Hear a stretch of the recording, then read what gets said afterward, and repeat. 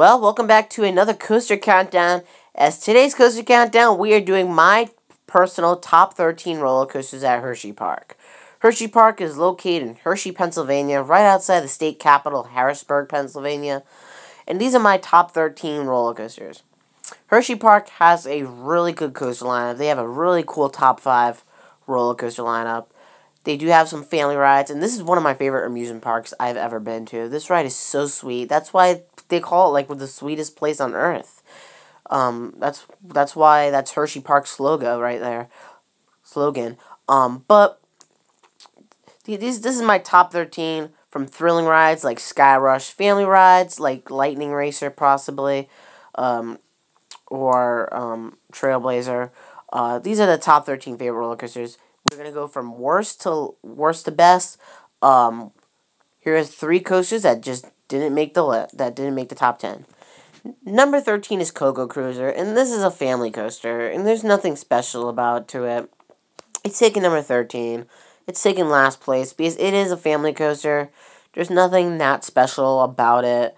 Uh, I'd say it's better than Dorney's. This is a Zamperla Gravity Group. Dorney has one too. I thought it was way way smoother and way better than Dorney's because on how smooth it is and it doesn't jerk you around like Dorney. But it's a kid's coaster, so that's why I take number 13. Number 12 is Wildcat, and this is by far the worst wooden roller coaster I have ever ridden. This coaster is rough as heck. Like, it is so rough, this ride. Like, it's so hard to enjoy it. And this coaster is not even vintage at all. It was built in 1996 by a cool manufacturer, GCI, and this coaster is still rough. I rode it last year. Um, I thought it was wor- I thought it was rough, and this year I it was worse than last year, so it's really rough. Number eleven is wild is the Wild Mouse, and there's nothing special about this one either. Um, this is like a more family style coaster. You can find one at Six Flags New England. This is pretty much the same as Six Flags New England, but pale uh, theming too. Also, I do exper- I do like this one better than Dorney Park's Wild Mouse. I, I do I do like Dorney Park's more than this Wild Mouse. Um, but so that's taking number eleven. I meant I, I like Dorney I like Dorney Park's Wild Mouse more than um the Wild Mouse at Hershey. Number number number ten. Now we've come to the top ten. Number ten is Trailblazer. This is an Arrow Mine Train. This is this coaster is nothing special either, like the same as the last two coasters. So I mean, there's some coasters in Hershey Park's collection that are kind of like tame or weak. Um, but Trailblazers and Arrow Mine I do probably prefer Adventure Express more than this. Um, but it's alright.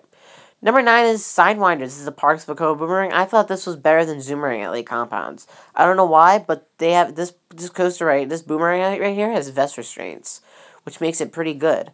Uh, and there's some vest there's some coasters that I have vest restraints with that really killed the experience. Like Valravn at Cedar Point, I wasn't a huge fan of that. Even Banshee at Kings Island, I wasn't even a huge fan of that either. So there's some coasters that that ruined. There are some vest restraints that ruined the coasters, and Sidewinder wasn't that bad of a vest restraint. Number eight is Super Duper Looper, and man, this ride is so smooth. Like, as for an old steel coaster, this ride is running smooth, and it has lap bars too with no seatbelt.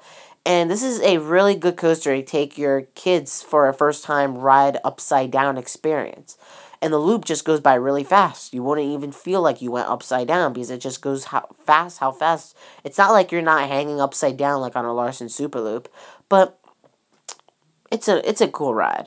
Number seven is Comet. This kind of reminds me, I, as for a similarity of a wooded roller coaster, this definitely reminds me of like Yankee Cannonball at Canobie Lake Park. I can't tell what to say. I thought I think Yankee Cannonball is still better of a ride, I thought maybe Jackrabbit, maybe also, but I like this ride. It's a very classic coaster. it's really running smooth. I mean, that's a really good sign to it. Yankee Cannonball, and this is running smooth, and that is a good sign because that means it's not showing its age. Number six is Laff Trakk. Man, this ride is awesome. I love this ride a lot. It's really fun, and when it's raining or lightning in the area, this is this this is open all year round because it's indoors and man, this is by far the best spinning coaster I've ridden. I love the spinning coaster. It's like it's in a fun house, and when you are when you're in the queue line, you, you go through like these really cool, like really funny mazes, these funny mirrors. And just to let you know, lines could get long for this ride as well. Now we have come to the top five, and number five, the top five are excellent at Hershey, like I said. So number five is Great Bear. This is the Parks B&M invert. I wouldn't say this is my favorite B&M invert, but I'd say this is probably in the middle as my favorite B&M inverts that I've ridden. This is a really sweet ride, but I like other ones more. Like, I like Talon more than this, but I love this ride. The Helix is really cool. I love its placing. Um, I love its like there like its area and surrounding with all the water and stuff.